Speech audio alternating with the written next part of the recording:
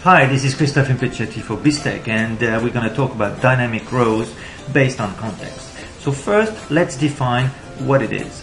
It's the capability of dynamically change in a cube the content of a dimension displayed on rows based on another cube dimension. For example, you could display the relevant countries on rows based on a region selection made on pages. This process is very useful when deploying applications in Contributor. To create dynamic rows, we're going to need two things, attributes and dynamic subset. To illustrate the topic, I have created a cube called dinrows and it has four dimensions, countries, regions, the months, and one measure, revenue. The cube looks like this. The first thing we need to do is to create the relationship between the two dimensions, countries and regions, and this is done using attributes. On the countries dimension, I have created an attribute, a text attribute called region, matching the country to the region.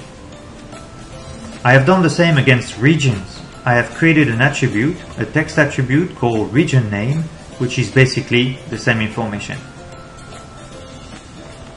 The last thing I need to do is to create a dynamic subset on the countries dimension. To do that, I just double click the dimension and go into view expression window to keep an eye on the MDX I'm going to generate. After that, I start my recording by doing Tools, Record Expression.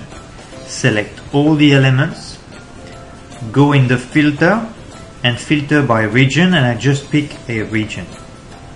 I click OK and my recording is done so I go Tools, Stop Recording and I say yes.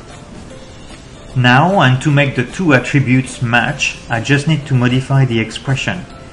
And instead of Asia, I am going to modify by placing the name of the other dimension, regions, and the name of the other attribute, which is region name, and close the bracket. I'm just going to click update, and I'm to say save. Give it a smart name, such as dynamic countries and click OK.